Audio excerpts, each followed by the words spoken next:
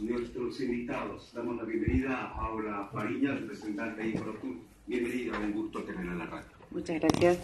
Robert Klaus me dice si es correcto la, la, pronunciación de su apellido, representante del ente de turismo de la ciudad de Buenos Aires. Bienvenido a Santa Cruz. Correcto, muchas gracias.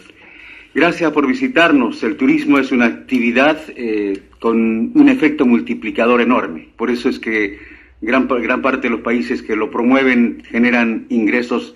En el caso de Costa Rica, ayer conversamos con, uno, con un experto que promueve el desarrollo ambiental, que es muy importante, más de lo que generan otras actividades económicas.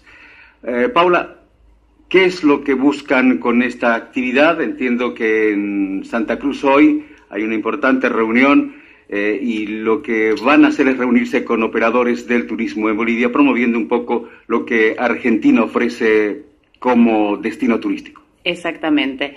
La idea es la siguiente, nosotros sabemos y estamos convencidos que la gente de Bolivia cada vez está viajando más y lamentablemente no es nuestro destino el que están eligiendo.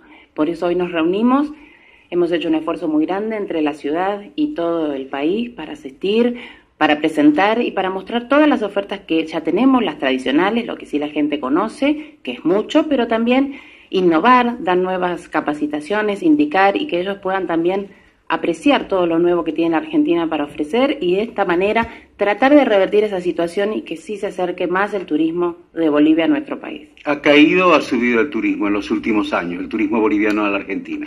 Está estable, está estable. En realidad no hemos tenido grandes cambios y justamente eso es lo que queremos modificar. Queremos que aumente notablemente. Sí tenemos mucha gente que nos visita de Bolivia, pero bueno, tenemos gente que viene a visitar sus parientes. Ustedes saben que tenemos una comunidad muy grande de Bolivia. La relación es muy estrecha. Muy estrecha, muy estrecha realmente. También tenemos el turismo de reuniones. La Argentina se realmente es uno de los países más importantes en cuanto a turismo de reuniones porque tenemos todo, todo preparado en cuanto a infraestructura y se sabe mundialmente que la gente que viaja por turismo de reuniones, que va a trabajar, posteriormente vuelve, el 70% vuelve al mismo lugar y con sus parientes. Entonces, esa es nuestra idea, que el turismo boliviano, que es mucho, pero en la parte de reuniones, vuelva con sus parientes y entonces incrementarlo. El tema del transporte, ¿cuál es el medio más usado? ¿El terrestre, el aéreo? Tenemos muchos vuelos, justamente conversamos eso, tenemos muchos vuelos desde Santa Cruz. Estábamos diciendo, Roberto, mil, corregime. Sí, un poco más de mil vuelos al año. Mil vuelos al año. Muchísima es la conectividad que tenemos realmente, así que de más está decir que sí. Pero tenemos también un fuerte ingreso por lo que es la frontera terrestre, pero el fuerte nuestro es el avión, la verdad que sí. Eh, le cuento que hay empresas bolivianas que se han especializado, y también entiendo argentinas, Flechabús, eh, eh, el Quiriquincho, algunas de las empresas que conozco hacen servicios casi diarios, no solo a la capital, a Buenos Aires, a Mendoza, a Córdoba, Salta. La relación eh, es, muy estrecha, eso es lo que le iba a decir, no solamente a la capital, eso es importante también lo que usted está marcando, desmitificar esto de que la Argentina es Buenos Aires. Obviamente es la puerta de entrada, es la capital y es la ciudad más importante que tiene el país, pero tratemos de que podamos conocer el país, las maravillas, tenemos parques nacionales, bueno, no le voy a enumerar todo lo que tiene la Argentina, pero hablamos de muchos kilómetros de extensión, muchas diferencias climáticas, entonces realmente la idea es que nos visiten y los vamos a estar esperando. Y permitime agregar, la gran ventaja es que justamente son destinos que son complementarios, ¿no?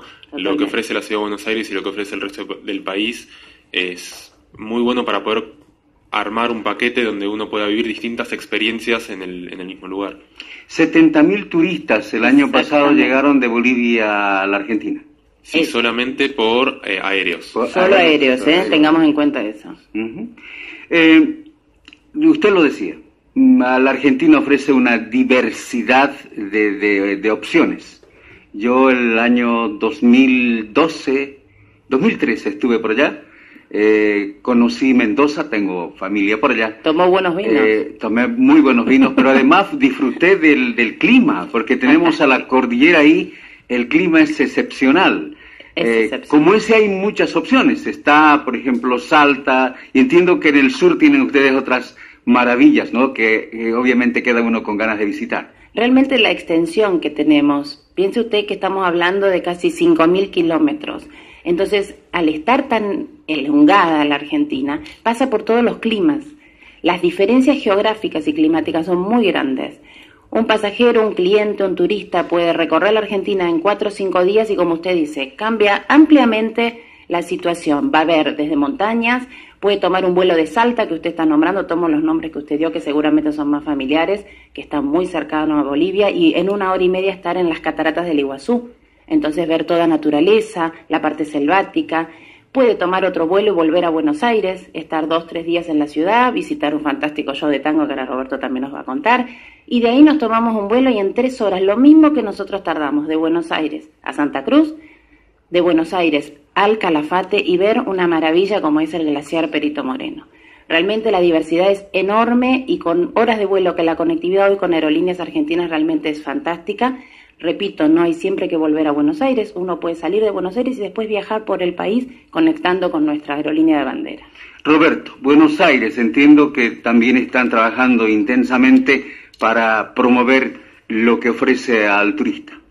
Sí, así es. Incluso esta actividad que haremos esta tarde la estuvimos coordinando en conjunto entre el Improtur, digamos, el área de, turismo, de, de promoción turística de Argentina y la ciudad de Buenos Aires. La idea justamente es tratar de, como comentaba Paula, mostrar las distintas cosas que tiene toda Argentina para ofrecer y la ciudad de Buenos Aires tiene una gran variedad de, de oferta cultural y gastronómica para que la gente la pueda visitar.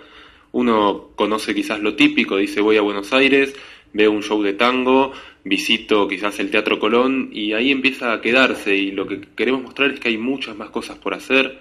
Buenos Aires está al lado del Río de la Plata y tiene una todo un, un camino por alrededor del río, se puede visitar la ciudad en, en, barco y conocerla desde otro perfil. Tiene una gran actividad, digamos, una gran propuesta para generar actividades en base a lo que es la naturaleza. Tenemos parques muy grandes, tenemos también una reserva ecológica, así que ese perfil de Buenos Aires quizás no se conoce. Y Buenos Aires tiene, por supuesto, una diversidad cultural increíble, hay más de 300 teatros en la ciudad de Buenos Aires, hay más de 320 librerías en la ciudad de Buenos Aires. Tenemos, em, por ejemplo, sin ir más lejos, el Teatro Colón, como nombraba antes, es un emblema en el mundo, quizás uno de los tres teatros más importantes del mundo. Pero la, la oferta y la diversidad cultural es muy grande y se puede ver en toda la ciudad. Quizás para destacar también un poco es la gastronomía de Buenos Aires. El año que viene Buenos Aires va a ser capital iberoamericana de la gastronomía así que va a haber un montón de actividades que tengan que ver con ese rubro, en donde se puede aprovechar y a la, a la par de conocer y pasarla bien, se puede comer muy bien en Buenos Aires. La, la gastronomía ha crecido mucho en los últimos años. Y se ha diversificado también. Se ha diversificado y también de la mano de la coctelería. la, la, famosa Noche Porteña, esa ciudad que nunca duerme, está hoy acompañada con un muy buen nivel de coctelería, donde la gente también puede sentarse a disfrutar de un trago y, y eso son distintas cosas que propone la ciudad. Bueno, y la parte de museos, que justamente tenemos la noche de los museos este fin de semana. Buenos Aires en museos realmente es una cosa fantástica. Piensen que tenemos un Museo Nacional de Bellas Artes gratuito, con obras de Rembrandt, Goya, lo que usted pida. O sea, realmente es un lugar para visitar. Buenos Aires necesita tiempo y hay que recorrerla en profundidad y caminando. Ustedes tienen una meta para el 2019, quieren alcanzar a 4,6 millones de turistas pertenecientes no solo a Bolivia, sino a todo el grupo Mercosur. ¿Es difícil de alcanzar? Es, es una meta ambiciosa, pero realmente es lo que, lo que estamos buscando. Queremos, como comentaba Paula, el, el turismo en, en Argentina en general ha estado estancado, por así decirlo, en los últimos años. Tenemos números que son muy parejos en los últimos cinco años. Son distintas cuestiones quizás de momentos económicos que, tiene el país, también, con, también eso se, digamos, se nutre con momentos macroeconómicos en el mundo, ¿no? Eh, a veces hay ofertas o, o, hay precios más baratos para Centroamérica, que es una cosa que muchos dicen, y entendemos que puede ser que una persona que ya haya ido a Argentina y cree que la conoce, prefiera ir a otro lado. Entonces venimos a contarles justamente que hay más para conocer, porque sabemos que la Argentina es un, uno de los destinos principales en Latinoamérica y que tanto Bolivia como cualquier otro país de, la, del Mercosur está muy interesado en conocer y de Sudamérica también. Entonces, ¿cómo andamos en precios en este momento? En precios. Eh, Por ejemplo, un vuelo, yo le pregunto porque hay mucha gente que viene fin de año y están pensando, clase media, pensando viajar me dicen, voy por tierra, voy por avión, ¿cómo me sale mejor? Y los hoteles, ¿cómo están? La comida es cara. la relación, ¿cómo está ahora? Bueno, ayer justamente hablábamos en lo que es comida, es un precio muy parecido muy aquí. Parecido al no, no hay una gran diferencia. En cómo viajar, eh, por supuesto, va a depender mucho del itinerario que uno, que uno arme. Si el, hay muy buenas opciones por terrestres y hay muy buenas opciones en, aéreas. Aerolíneas Argentinas, por ejemplo, vuela 11 veces por semana. 11 veces por semana. Exacto. Buenos Aires. A Buenos Aires. Son tres horas de vuelo. Tres horas de vuelo. Directo. ¿Y cuál es el costo? promedio. promedio. un costo promedio de unos... Entiendo que hay promociones también, ¿no? Sí. Sería? Sí. sí, unos 500 dólares. Aproximadamente, 500 dólares, sí, sí. Ida y vuelta. Exactamente. Por persona. Y, bueno, le digo porque hay mucha gente que por redes sociales dice, ¿y cuánto cuesta? Lo primero que la gente consulta su bolsillo, ¿no? Y sí, lógico. Y hotelería, que te preguntaba, tiene muy variada. Por ejemplo, pongamos el caso de Ciudad de Buenos Aires, que va a ser la puerta de entrada. Tenemos hoteles muy simples, desde dos, tres estrellas hasta hoteles de cinco estrellas de gran categoría. Es muy variado, o sea, oferta van a encontrar. Y realmente la hotelería creció muchísimo en Buenos Aires en cantidad y en calidad, de modo que siempre vamos a tener lugar y algo para ofrecer a los amigos bolivianos. Para que tengamos en cuenta, la ciudad de Buenos Aires tiene unas un poco más de 60.000 plazas. Así que imagínense. oferta hotelera hay suficiente para... para ¿Cómo les va con el turismo europeo y norteamericano? Bien, la verdad que europeo hemos tenido una pequeña baja importante, pero bueno, el tema en Europa no está fácil, eso lo sabe todo el mundo. Así que realmente este verano se han llegado menos cantidad de gente europea, especialmente de Alemania, donde nosotros teníamos un fuerte movimiento a fin de año. Pero bueno, se entiende, se entiende porque la situación europea no es, no es la ideal, entonces como que la gente paró un poco sus viajes, pero no es a causa de nuestro país, sino la situación mundial. Y norteamericanos sí, nosotros tenemos mucha gente que nos visita de Norteamérica, ellos hacen viajes completos, en realidad son viajes que ingresan a la Argentina, recorren la Argentina, pero siguen viajes en Chile, Bolivia y Perú. Hacen el circuito. Exactamente, y muchos hacen también Río de Janeiro, o sea, es completo. Pero la verdad que el turismo americano, por el contrario, ha crecido muchísimo, especialmente en el verano donde tenemos la época de los cruceros. La gente muy mayor norteamericana le gusta mucho viajar en cruceros. No se olviden que el puerto de Buenos Aires es uno de los mayores receptivos de cruceros y posteriormente viajan a Ushuaia y de ahí toman muchos viajes, tanto a la Antártida, a los fiordos chilenos, o sea que realmente esa parte del turismo la tenemos muy bien instalada. Algo que le quería comentar, hoy nos van a acompañar en el evento gente de Mar del Plata. Es un sitio muy interesante que la gente de Bolivia adora realmente porque es un contacto maravilloso con el mar. Piense usted que estamos a 400 kilómetros de Buenos Aires. Y Jorge ha estudiado allá. Yo veo que lo mira, sí, se está riendo. ¿Estudiaste Yo, estudié en la, en la Plata. Ah, La, Plata, más cerquita. La Plata son 60 kilómetros de Buenos Aires. Pero Mar del Plata es mar. entonces realmente es una oferta fantástica visitar de repente tres, cuatro noches en Buenos Aires y complementar con dos en Mar del Plata. Es algo que la gente adora, primero que el mar y segundo que la ciudad de Mar del Plata es uno de los balnearios más lindos que tiene la ciudad, en la provincia de Buenos Aires. Sí, además de la compañía Mar del Plata, también viene la gente de, la provincia de Neuquén. Exactamente. Que van a estar. Y también nos acompañan más de 25 privados con distintas ofertas turísticas, así que usted que consultaba por los precios, seguramente mañana todas las agencias y operadores de, aquí de Bolivia van a tener una novedad de precios nueva con toda la actividad de la tarde y van a poder informarle a todos los interesados qué, opciones tienen y, cuánto cuestan. ¿En este momento el cambio favorece? En este momento el cambio está, a ver, favorece para Bolivia por, para la relación, nosotros estamos a 15.50 aproximadamente por dólar. Así que. Nosotros estamos menos de 7. Por eso. Sí, o sea, favorece. Favorece. Favorece, sí, sí, ampliamente, realmente sí. y eh, lo que decía Roberto, en cuanto a alimentación, estamos muy parejos, no es que estemos mucho más caros que ustedes, estamos prácticamente parejos. Sí hay sitios que, bueno, obviamente, uno va a lugares específicos como es el Puerto Madero, la Recoleta, ya se sabe que es un poquito más caro. Entonces, el que va a esos sitios ya lo sabe. ¿Y Mar del Plata es cara? No, no, igual que Buenos Aires y un poco menos también, te digo. No, no, no, y es una ciudad preciosa. Neuquén, que nombraban aquí, para los que no se ubican mucho, es la gente que está escuchando, es la puerta de entrada a la Patagonia. Cuando uno empieza al sur de nuestro país, como entrando a la región de los lagos junto al país vecino chileno, ahí es entonces la, ciudad de Neuquén. El etnoturismo y el ecoturismo están de moda en Bolivia. ¿Cómo andamos en la Argentina? ¿Por qué? El ecoturismo más que el etnoturismo, para nosotros por ahora, aunque nos gustaría que sean las dos cosas, pero el ecoturismo realmente tenemos un furor. Nosotros en Argentina estamos mucho con la parte de la salud, la gente se está dedicando mucho más a su cuerpo y eso también se nota en el turismo. Tenemos la parte de senderismo, que se hace muchísimo, ya sea caminando, a caballo, en bicicleta, todo lo que sea el sur van a encontrar cantidad de lugares y totalmente preparados para recorrerlo, ya sea con carpa, motorhome, pero toda la parte ecológica a mantener a pleno. En el norte también, pero les digo el sur porque es donde más uno se manifiesta. El endoturismo lo tenemos, pero estamos todavía haciendo un esfuerzo. ¿De dónde queda más? Pues, la gente cuando, fíjese, cuando habla, habla la, la memoria le viene el gaucho, ¿no es cierto? ¿Queda en qué zona? Y el gaucho música, queda, el, digamos, la puerta quizás de entrar al gaucho está muy cerca de la ciudad de Buenos Aires porque es de la provincia, pero la realidad es que cada una de sus provincias tiene su, tiene su, perfil. Tiene su folclore, claro, totalmente. Pero el folclore del norte argentino, como los festivales, eh, eso siempre fue una gran atracción. Y sobre todo ahora que estamos fin de año, comienzo de año, que viene eh, el festival, este gran festival del folclore en la zona ¿En dónde es? ¿En Salta? Mira, en Salta tenemos, cada, cada parte del país tiene un folclore diferente. Cuando uno habla de Salta va a hablar más de las tradiciones, de lo que es la etnia. Mm. Por ejemplo, la fiesta de la Pachamama, mm. para agosto, o en febrero los grandes carnavales. El carnaval en el norte de nuestro país es fantástico. Cuando uno habla de los gauchos que usted estaba diciendo, si habla como dice Roberto, va a tomar como base la ciudad de Buenos Aires y de ahí se va a hacer o una excursión o dos, tres días para internarse en La Pampa, en una mm.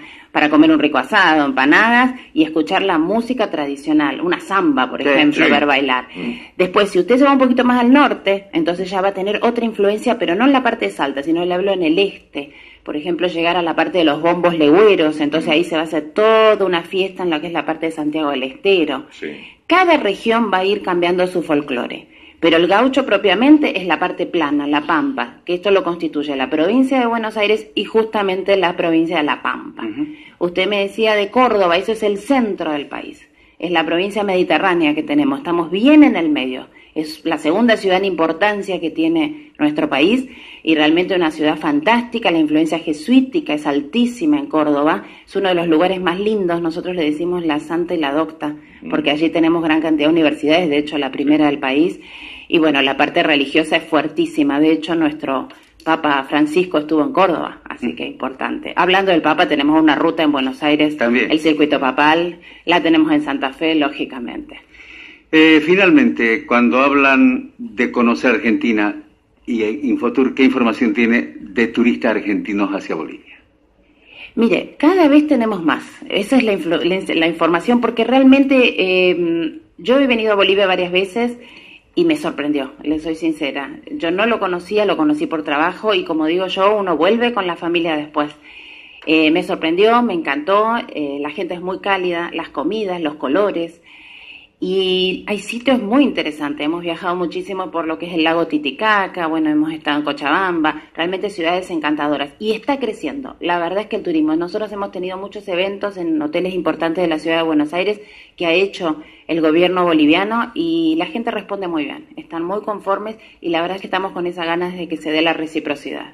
El argentino tiene una característica muy especial. Es un poco como el europeo o el americano que ahorra durante todo el año para darse unas buenas vacaciones. ¿Se mantiene esa cultura? Igual. Sí. Que voy y voy, no importa aunque a dedo, ¿no? No importa, pero tengo que ir. Tengo que, cortar y tengo que salir. Ahora estamos también mucho que la gente corta de repente dos veces al año. Junta igual dinero, pero en vez de tomarse más tiempo en un verano, toma un poquito en invierno, un poquito en verano. Entonces ahí está la posibilidad de recorrer no solo nuestro país, sino los países vecinos. Sí, aparte el argentino es un, personaje que le gusta viajar mucho, digamos. le gusta mucho el viaje, las vacaciones son muy importantes para nosotros y, y como bien decía Paula, el recorrer, el salir a recorrer de cómo se pueda está siempre. Paula, Paula Fariña, representante de ImproTour, y Roberto Klaus, muchas gracias por visitarnos, que tengan mucho éxito en esta actividad. Y bueno, ya saben oyentes, hay enormes posibilidades, las, eh, cualquier agencia de viajes lo decía mañana, con seguridad tendrán las opciones para tomarse vacaciones.